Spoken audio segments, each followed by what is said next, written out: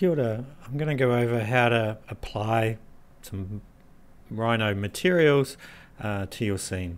Um, so you can see here I've put some wood, glass and concrete, so just quite simple. Um, but how did I do that? So let's go back a few steps. Um, I've created um, some materials for you to use uh, and you can download those. Um, and then uh, you'll come to the materials palette uh, panel. So we've got the materials here. Um, and if you want to add new ones, we can click, then we can import from material library, um, and then go to where you want to go. Um, so I was here, um, so that we can then just select all those and then open them, uh, and then they will come in.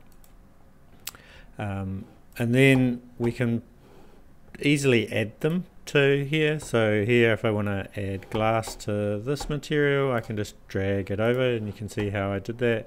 Or if I want to change it to steel um, or add timber to the background here.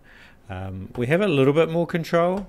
Um, so if we want to um, just have uh, a face, so we can go Control Shift on a PC or Command Shift uh, on a Mac and select that face uh, and then come over here right click on here and I go assign to objects. So that's one way of doing it.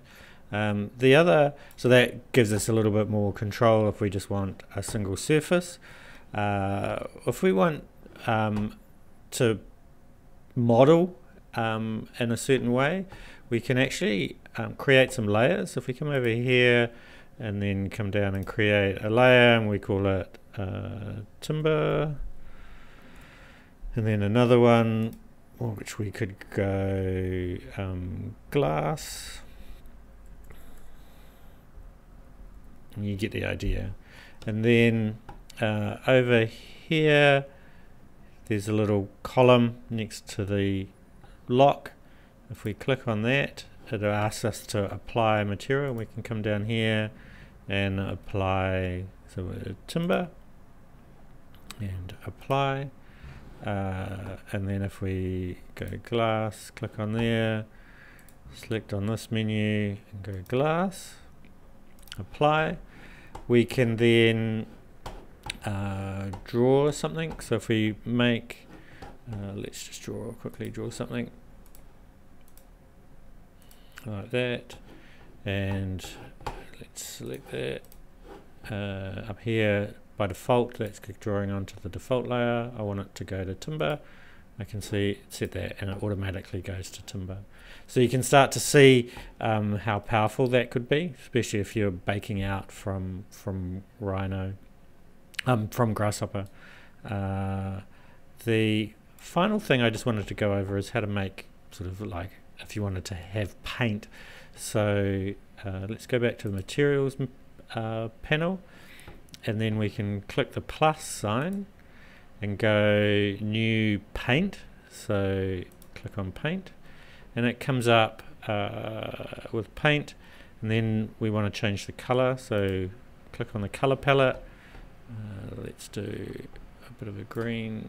So click on the over there and then we can drag the the little um, dot to get a different color. So there.